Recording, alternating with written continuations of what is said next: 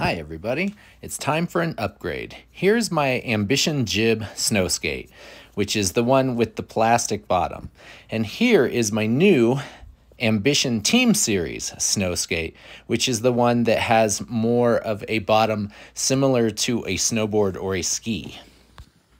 And so in this video, I want to do a comparison between the Jib and the Team Series and see what the difference is.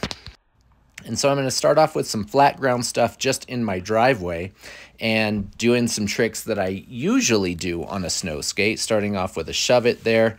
And back in December when I was recording these, I shot a bunch of slow-mos just because I like it, and a heel flip there, and I think I finish off the flat ground here with a goofy looking kickflip, but that's what mine usually look like. So now let's go to the team series and see if there's any difference on flat ground. I immediately noticed that this snow skate, the team series, is a lot faster on the snow.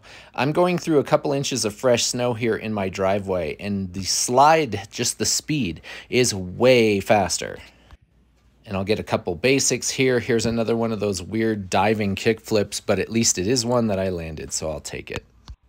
And as we go into the rail with the jib again, I can say already that you can feel a difference between the two snow skates on flat ground in the response time, in the time it takes for you to actually try to pop, push down with your back foot, and the way the board responds.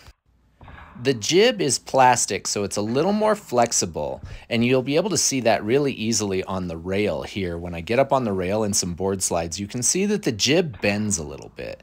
And that's not really a bad thing. It's just something different, something to notice.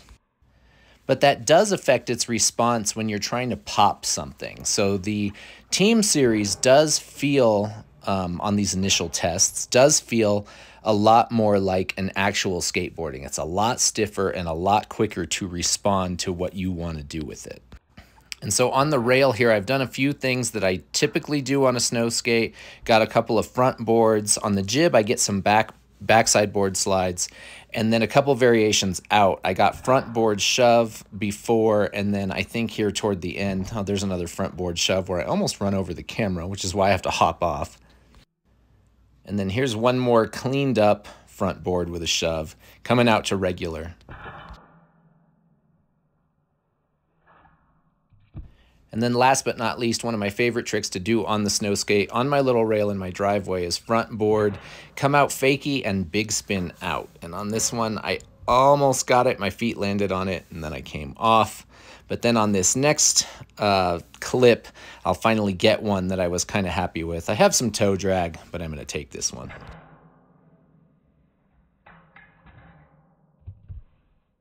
So now let's take the team series to the rail and see if I notice a difference. And I've already kind of talked about it. This board is much stiffer and the bottom is faster on the snow. Well, the bottom is also faster on the rail.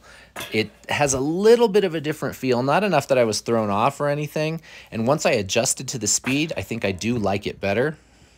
And so here's a couple of those standards again. Front board, front board shove was in there, and then here's front board big spin out, one of my favorites. So just the other day, I was feeling really good after getting all of those. Then I decided I was going to try to big spin onto the rail. So big spin front board. I've only done this once before, and that was last year.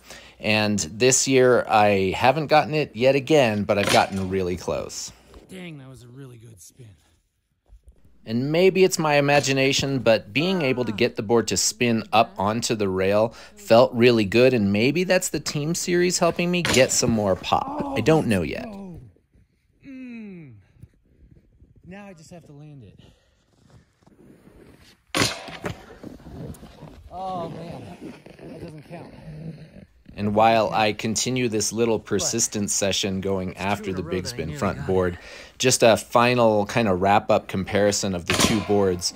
I think if you're asking yourself, I want a snow skate, but I don't know which one to get, and these are ambition, both of them, of course. If if you should get a jib or if you should get a team series. And I think the answer to, to that is how much are you going to snow skate?